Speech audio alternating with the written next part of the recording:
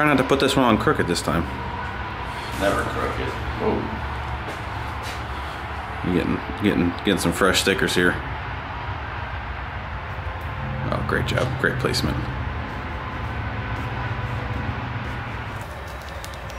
Huh.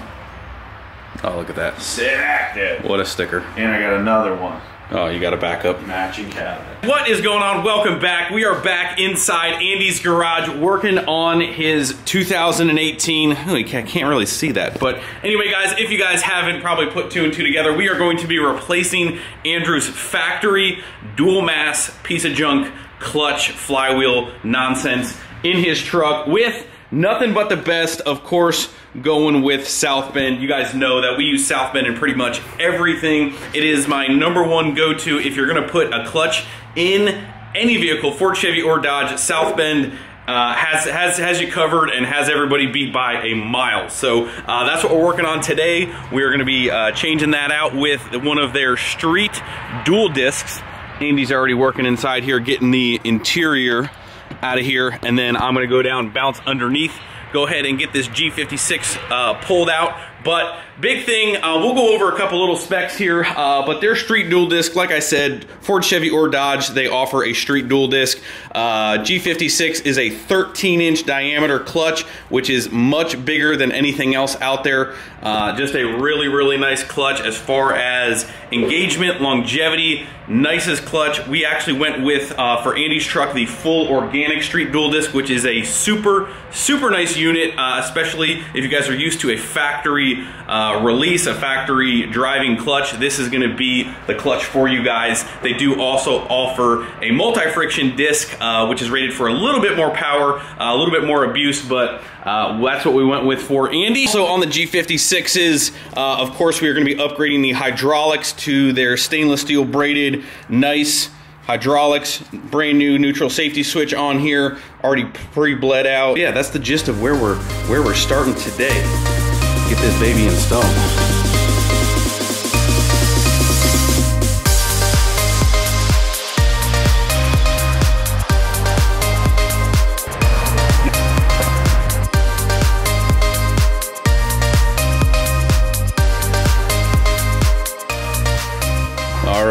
Guys, we are pretty much almost ready to come out with the transmission. Andy went ahead, got all of the interior pieces out. Probably gonna stuff a rag in there to make sure nothing uh, nothing gets down inside there, but have to take the whole shift tower out, take that stuff all out. Andy's working on the uh, cross member. Underneath here, we got the uh, drive shafts out of the way. We got all of the uh, harness plugs out of the way and removed from the uh, the transmission. Got the shift lever off. We're gonna pull the uh, pull the trans with the transfer case on, which sometimes is a pain in the butt, but that's what we're gonna do. Got the hydraulics out of here, so really, really just uh, got to pull these cross member bolts out of here once we uh, once we get the trans jack in and do the bell housing bolts. He also got the factory uh, hydraulics out of here. Here you can kind of see that this line is just made from like a nylon, not rubber, but like nylon plastic. Uh, what'll happen a lot of times is uh, you'll actually have that expand a little bit instead of a stainless steel line. So this is why they recommend that, making sure you have proper travel. New neutral safety switch, so that's that. We'll get that in there after the new clutch is in, but removal is pretty much almost done. McDonald's. Hmm. Andy's Andy's over here. He's pretty excited about McDonald's. You guys want to see these Tech 3 boots yet? Nobody cares about your dirt scooter boots, dude. What what do you get? You got all red? Let's start calling you Ricky Carmichael. Red and white, red. Did you buy those? They didn't give them to me for free. Well, I didn't know if your friend gave them to I'm you or what. sponsored. Dude, how's how's the how's the unit? She's a runner. Look at all this crap in here. Hardworking man.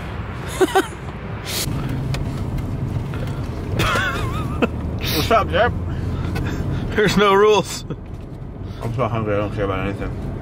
Andy's Andy's getting very hangry. Go good though. Are you get? Are you, are you getting into a better mood now? Mm. Okay, I'm, I'm glad about that. Mm. I'll stop making it weird. Yeah, it's not even late.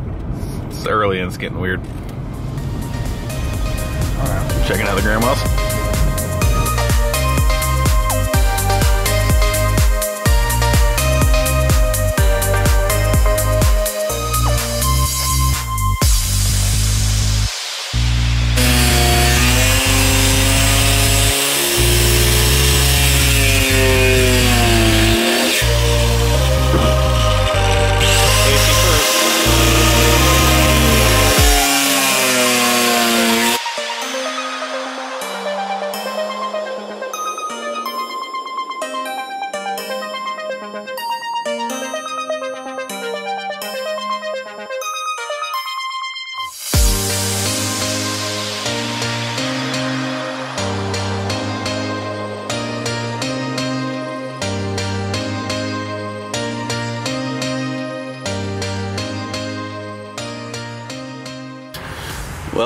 they don't call him Muscle Man Andy Savage for nothing.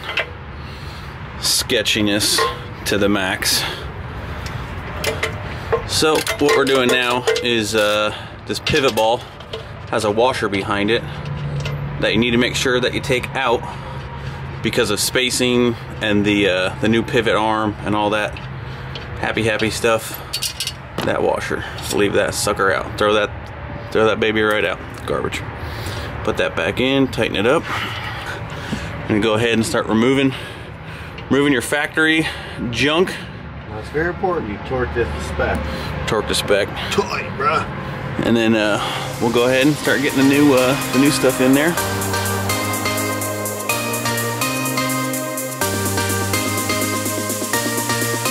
All right, here is the stock junk. This is the uh, piece that's actually attached to your crank. If I can get it up. Hey, hey, hey. Come on, come on, girl, come on. I can't get this off. Wow. You need me to flip it for you? Yeah, flip this over for me, would you? Not a problem. See? There you go. So this piece is actually what bolts to your crank like that. Those bolts go to your crank and then actually when you remove your stock dual mass flywheel, you got bolts that actually come through the backside of this that attach to this, which would be considered like your normal flywheel, but you actually have to take it off uh, like kind of like an automatic transmission with converter bolts through the uh, bell housing Inspection cover. inspection cover. Yep. But here's the uh, here's the disc.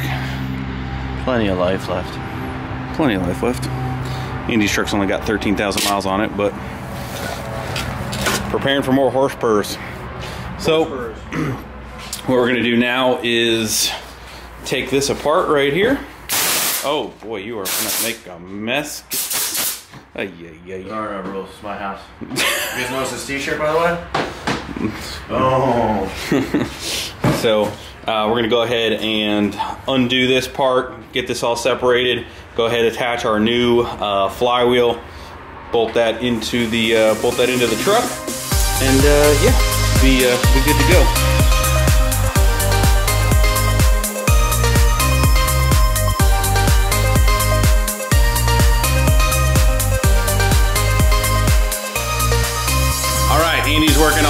Ender fender liner out because we're gonna go ahead and start installing the uh, fleece coolant bypass here. Got the clutch disassembled a little bit for you so you guys can kind of see the frictions. Uh, we got 12 frictions on here. You can kind of see exactly how the, uh, the floater plate in the middle works on this style clutch. Again, 13 inch diameter. Um, just really, really, really nice. Um, pop this one off. Take a look at that. Go ahead and clean all that stuff up. Put that baby in there. Whew. She's gonna be nice. Nice. As you can see, much, much easier access to that rear uh, freeze plug right there. So we gotta pop that baby out. We're actually gonna drain some of the coolant out. Obviously, we don't wanna take a bath back here, uh, but we're gonna go ahead and drain some coolant out, get our uh, bypass put up in there, and we'll go ahead and start reinstalling the flywheel and all the South Bend stuff. Somebody will tell me a better way to do this, but still the easiest way that I have found to drain coolant out of these things is just to pop off that lower hose just a little bit and let that drain out. Uh, because the drain on these things is kind of a pain. Yeah, just give her, no, no, no, uh, go, Where's the punch? Use the punch. Stick it on the inside edge. Don't go, stick it on the flat part. Okay. Uh, you're gonna have to whack it a little harder than that. Oh, I'm trying to, Like you mean it, Sally. I'm trying to get it as well. Normally people like pick the upper edge. There you go. Needle nose pliers and pull it out the rest of the way. Look at that. No so it You the man. No coolant, that's a great sign. You don't want to take a bath. There we go. Get that red scotch brite, cleaner up. All right, well, we didn't exactly quite finish up everything. We are almost there, but that is where we are gonna call it. All we really have to do is put the uh, clamps on that hose, connect that right there. The new clutch is in. Transmission and transfer case are back in. Would you really just have to button up everything underneath here, but it is quitting time. It is time to go eat some dinner, have some family time, finish off Sunday. Very easy, uh, very easy second day to uh, to wrap it up, which we will do probably a little bit later. But uh, good day. Definitely a little challenging with the uh, with the homemade jacks on the ground. Not the easiest, but is uh, is doable. What do you say, Andy? tired. tired. It's time to it's time to quit it. Time to quit it. So that is where we're pretty much gonna wrap up this video, guys. Stay tuned for the second part where we get the truck running, buttoned up, done, coolant back in it. We didn't even put coolant back in it yet, uh, but the bypass is done. Everything looks good, so we'll put coolant in it, button up, and we'll go for a test drive on the next video. So that's gonna do it. Thank you guys so much for watching.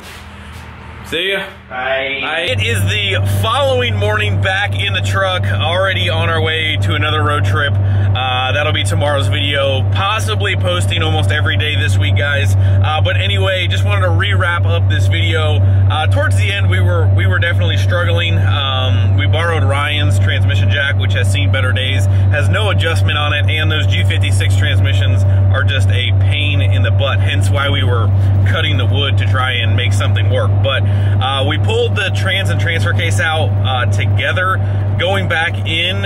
Man, I'm telling you, doing it with the tra the transfer case on the back of the transmission when you're doing it on the ground and without a. Ooh, look at this truck! Look at this truck!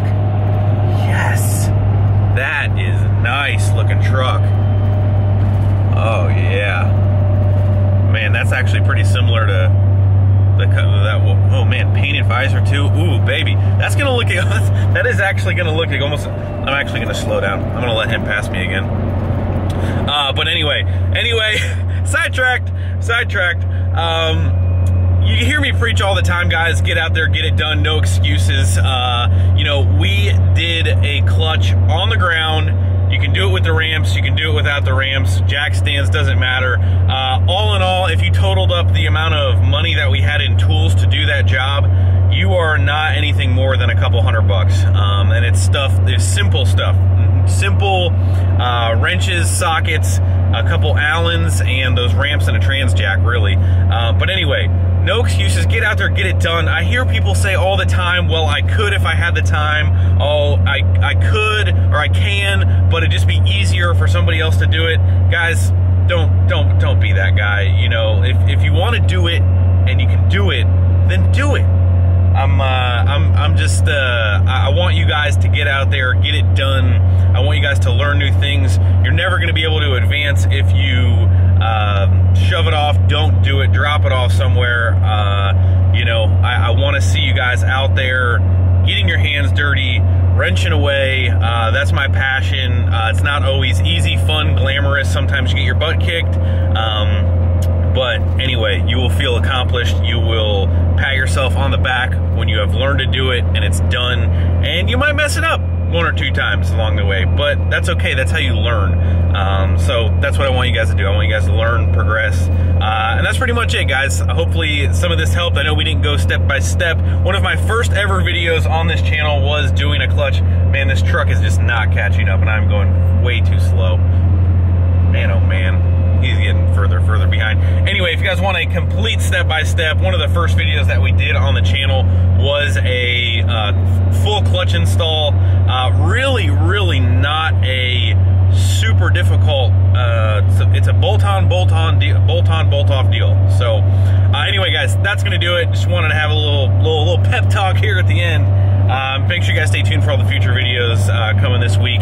We'll be we'll, we will be all over more Peterbilt parts coming, uh, actually being delivered to Mark's shop, and boy, boy, is it gonna be good. All right, guys, I'll see you guys tomorrow. See ya.